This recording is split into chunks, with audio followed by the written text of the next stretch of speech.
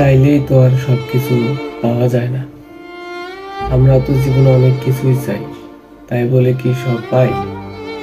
আর আমাদের পছন্দের জিনিসটা পেলাম না জন্য যে হাল ছেড়ে দেব, এমনটা করা যাবে না।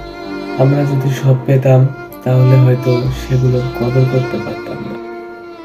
খুব করে চাওয়ার পরেও আমরা অনেক কিছু পাই না। তাই তো কবি বলেছেন, একবার না পারিলে দেখো শতবার।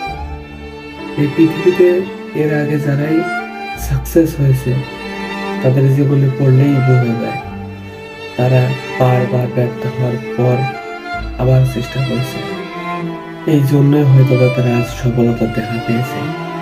আমরা তো শুধু তাদের সফলতাটাই দেখি, কিন্তু তাদের প্রতিটা রাতের পরিশ্রম, তারা কীভাবে প্রতিটা রাত পার করছে, একমাত্র তারাই জানে।